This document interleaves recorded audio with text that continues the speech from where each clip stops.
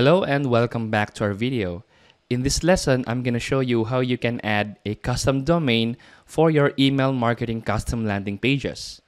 So let's first create a custom landing page by going to email marketing and then go to landing pages. And after that, we are going to start by creating or using a template. So example, I'm going to use the digital product template. I'm going to use this template. And then let's rename this as my custom landing page with domain.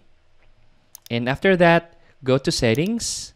You would see that you have the option to enter a custom domain here. But there is a requirement.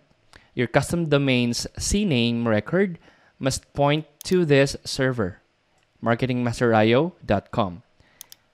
For this example, my custom domain is using Cloudflare. I really suggest that you use Cloudflare to make the DNS configuration very easy.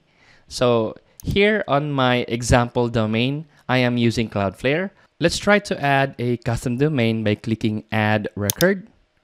And for the type, use the CNAME type and for the name, just enter the subdomain of your choice, example, digital.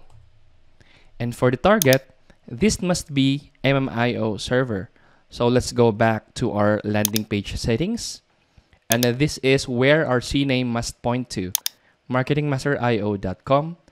I'm gonna copy this one and add it as the target of our CNAME record.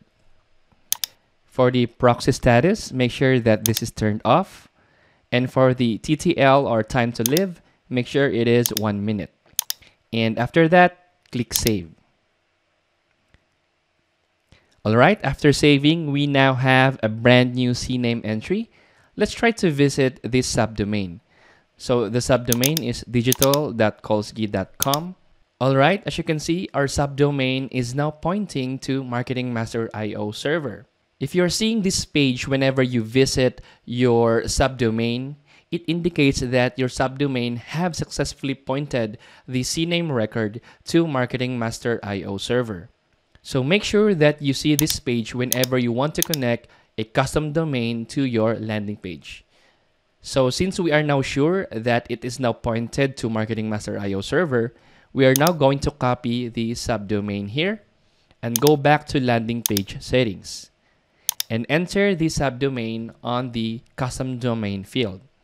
Now, on the custom domain, it only accepts the domain characters. So let's remove the HTTP and the forward slash characters here and make sure that the custom domain is the only characters that are entered on your custom domain settings. After that, click OK.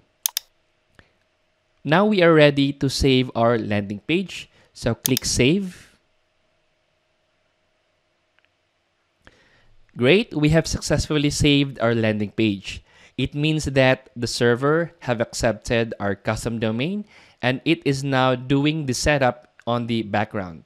So give it a few minutes until the setup is complete and then refresh your custom domain again.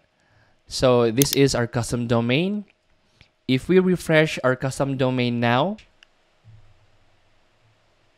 Alright, so after refreshing, our custom domain has loaded the correct landing page that we have connected it to. So that's how easy it is to set up a custom domain to your landing page. And let me stress this again, always use Cloudflare so that it's easy to configure your custom domain DNS settings. So that's it for this video and stay tuned for more.